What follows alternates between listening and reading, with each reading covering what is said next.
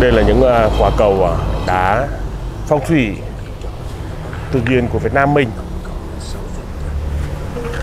Đây là đá Casidon các bạn ạ. Màu xanh. Viên này cũng Casidon, vần khá đẹp. Một tạo hóa của thiên nhiên. Đây là quả cầu à, đá thanh hồng. Các bạn thấy hồng có một nửa trắng, một nửa hồng, một nửa phớt hồng này, các bạn này này đá tự nhiên này. Nó như vậy, không qua xử lý. Còn quả cầu này là quả cầu đá thạch anh trắng này, anh em mà đang lau để à, quay video. Quay video để các à, bạn trải nghiệm những quả cầu đá phong thủy thật tự nhiên Việt Nam mình. Thông qua xử lý với đất phèn. Còn đây là những à, trụ đá thay anh thô nguyên khối được anh em làm ra làm ra các vật phẩm phong thủy khác. Trắng. Phớt hồng. Phớt hồng. Đây, hồng này cực kỳ hồng, anh em đánh bóng ra, các bạn trải nghiệm thêm. Rất là đẹp.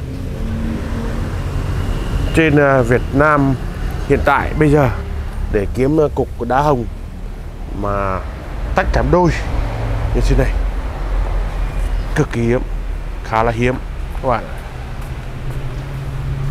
khá hiếm nha.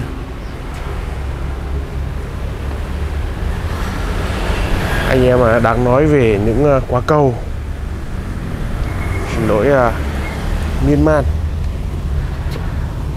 đá đen. Này là đá đen chứ không phải là đá thạch anh đen nhé nhiều các bạn cứ bảo là đá thạch đen. Nhiều nơi các, các cơ sở khác không biết cứ bảo là đá thạch đen không phải đâu. Thạch anh đen ờ, đa số là đốt đốt cháy.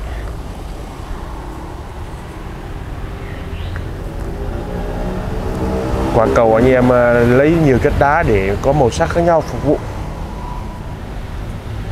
Còn có loại gỗ thạch phía trên anh em cũng này lấy ra làm những quả cầu này để các bạn trải nghiệm thêm. Vần như vần đây là vết ờ, uh, nước phèn nhưng khi sơ tay vào là không có đâu. Cả đây vết nước phèn do hiện tượng sốc nhiệt tự nhiên, nóng gặp lạnh. Sau đó, dòng nước sẽ mang qua các à, khoáng chất đi qua cái hở để hàng nghìn triệu năm sẽ bồi lấp và anh em lấy về, đánh bóng ra. Các bạn ạ. Đây. Các bạn nhìn thấy đây. Đấy. Thô đấy. Anh em sàn Tây Nguyên à, nằm ngay thành phố Giang Bình Dương cách Sài Gòn uh, 10 km có dịp mà các bạn à ghé thăm. Anh em sàn Tây Nguyên xin chào và hẹn gặp lại.